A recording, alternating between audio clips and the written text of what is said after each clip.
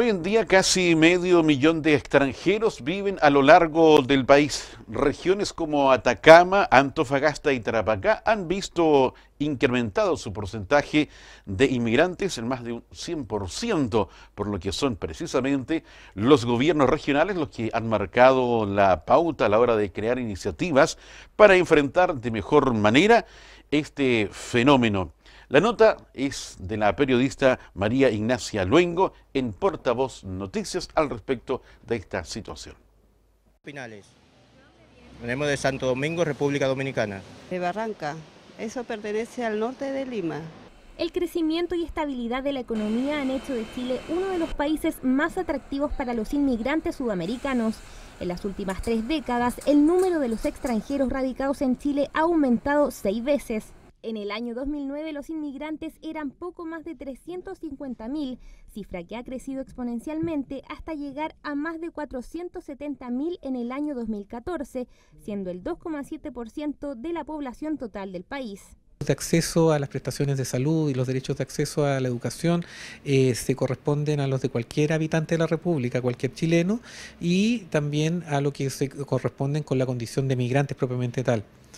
Las regiones que presentan el mayor número de inmigrantes son Antofagasta, Tarapacá y Valparaíso, mientras que las que más han incrementado el porcentaje de extranjeros desde el 2009 son las regiones del norte Atacama, Antofagasta y Tarapacá.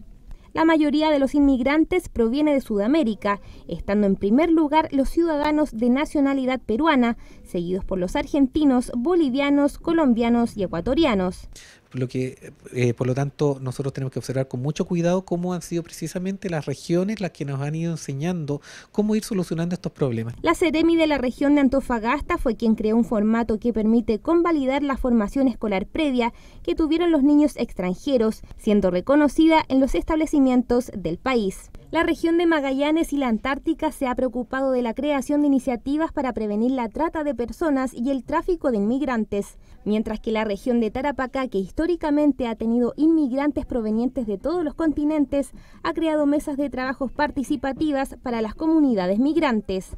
Si pretendemos seguir aplicando esta normativa al contexto de Chile, un país que ha cambiado tanto en estos 40 años, pensamos que, o coincidimos todos en que es una normativa totalmente anquilosada y que no responde a la realidad actual.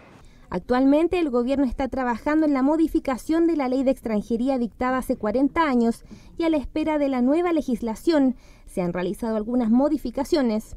Hoy a los niños y niñas que nacen en Chile se les reconoce su nacionalidad chilena. Además, se han eliminado las multas para niños y adolescentes que infrinjan la normativa migratoria.